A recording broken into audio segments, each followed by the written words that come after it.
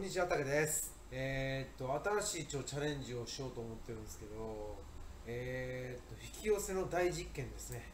あの引き寄せの法則ってあるじゃないですか。それが実際、えー効果があるかっていうのを実験したいと思いますね。一応私的にはね、もうかなり、えーっと信頼はしてるんですね。えー、4、5年前から結構信じ始めてきて、これ、あのー私、まあ、信じれば信じるほど結構なんかそういう吹き寄せの効果がまたまあすごい大したことはないんですけどまああのーよくあるのが4年前、えー、とこれ3年目か。4年目になるんですけど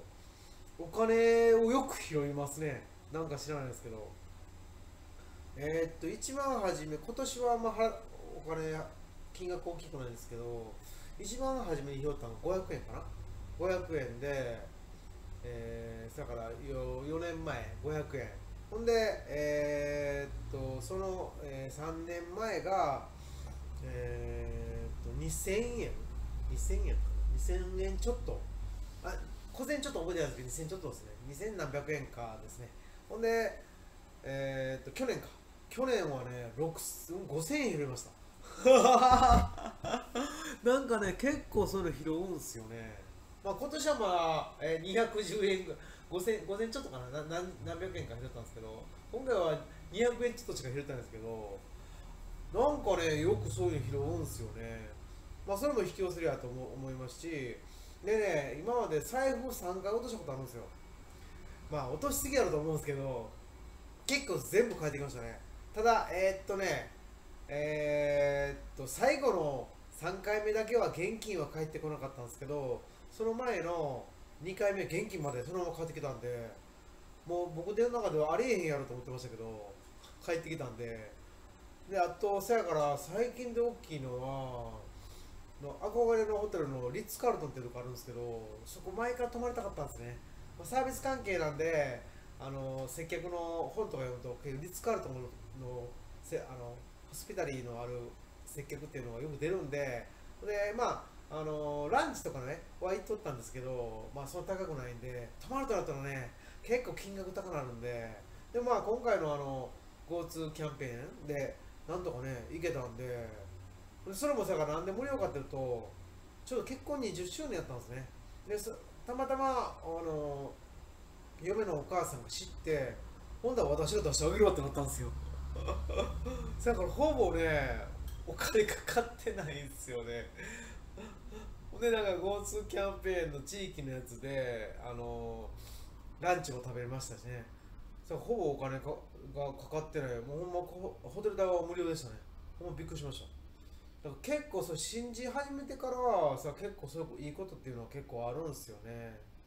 まああとはね細かく言ったら、まあ、例えばあのー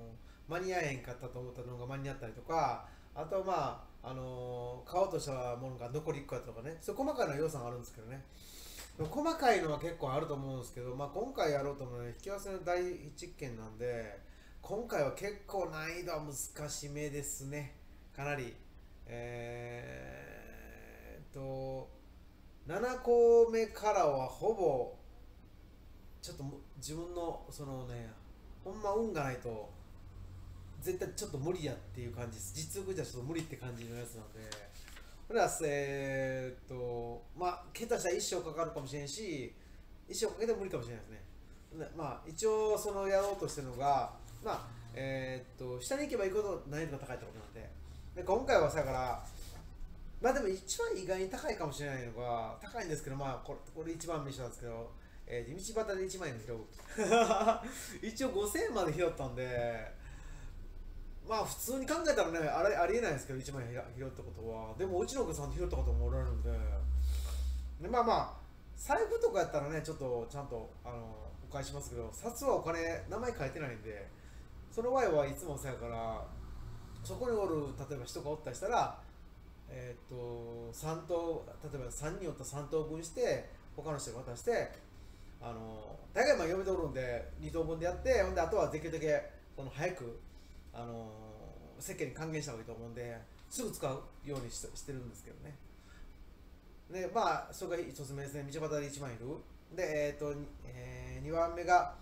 パルクールやってるんでパルクールのスピードなんていうのがあるんですよ。まだパルクールそんなにね大会とかは日本があんまないんであのパルクールは一応2種類あってえー、っと回転一応アクロバット系とか出すのが、えー、フリーランでもう一個はスピードランっていうのが、え、フリーランニング、え、フリースタイル。で、え、っとスピードランっていうのは結構その要は段差があるところのいかにその、えー、と A 地点か B 地点までいかに速く走るかっていう大会ですね。一応あるらしいんですけどなかなかね日本じゃその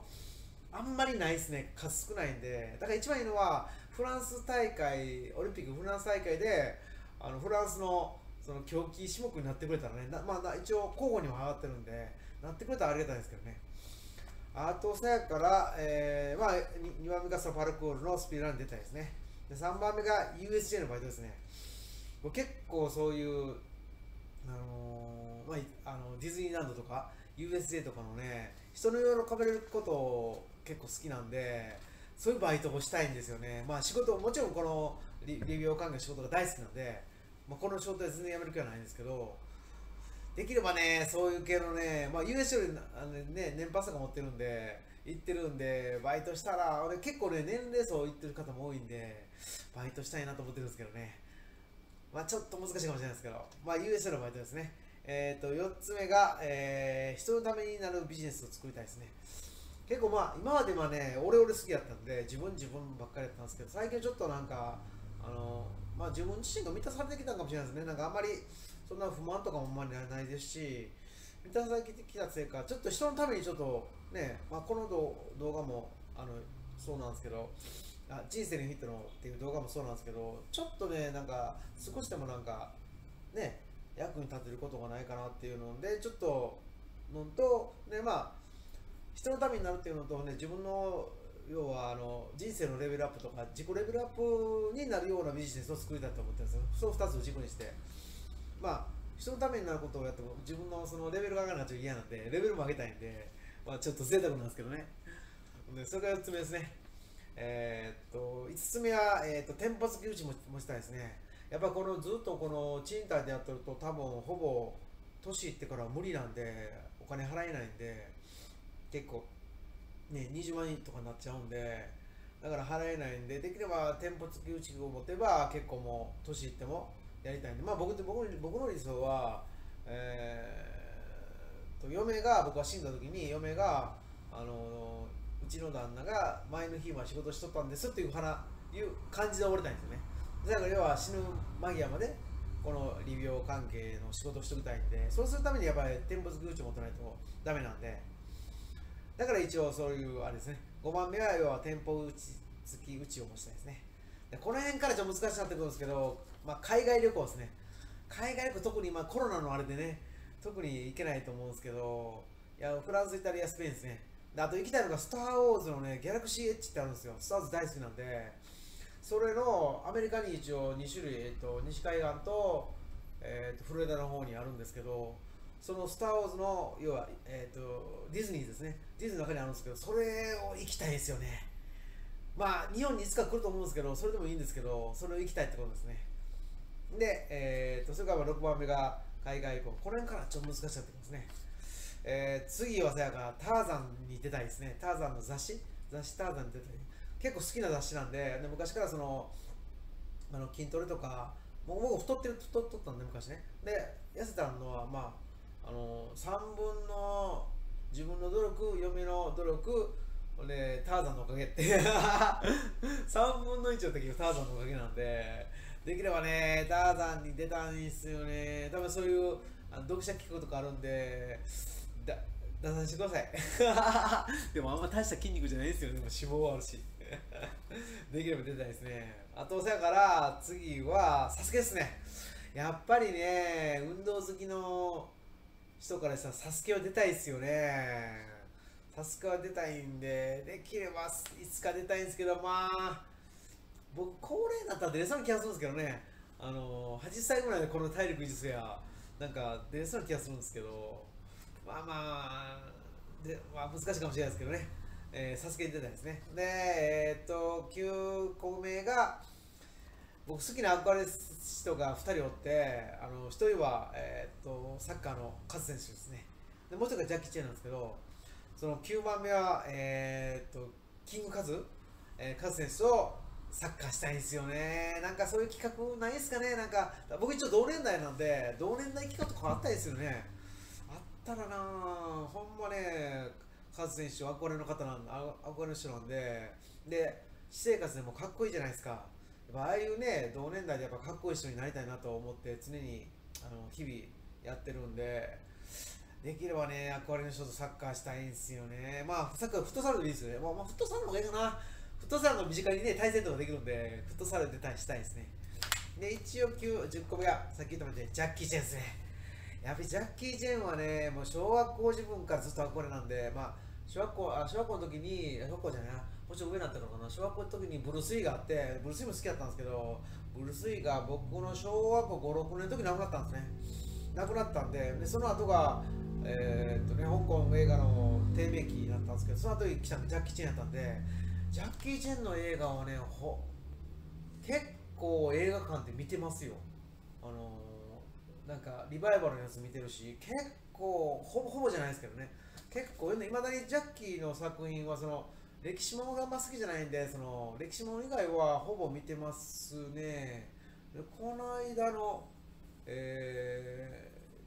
ー、ね007との共演の、えー、フォーリナーでしたっけ？あれも見に行きましたんで結構ほぼ見に行ってるんでできればねもうジャッキー・チェンでねもうあのどんな年取ってもいいんでジャッキー・チェンと会いたいですよね。ちょっと喋りたいです。えーっとこんな感じっすよね。結構この10っていうのは結構難しいんで僕のそのあれじゃ多分力とかじゃもう全然力ないんであのねお金出してもお金要素私もちょっと難しいかもしれないんでできればねこの引き合わせの在実験をねできれば成功させたい。あま難しいですけどね。うーんなんとかねほんま最後のジャッキー・チェンに会いたいまで行きたいですね。まあそしたらまあ一応最後引き寄せられたら一応動画をとアップしますんででまあ一応年に1回その要は小さい引き寄せのあの多分ことがちまちまあると思うんでそれを、えー、報告したいと思います。そしたら、えー、竹の、えー、引き寄せの大実験でした、えー、よければ、えー、チャンネル登録、えー、いいねよろしくお願いします。じゃあ。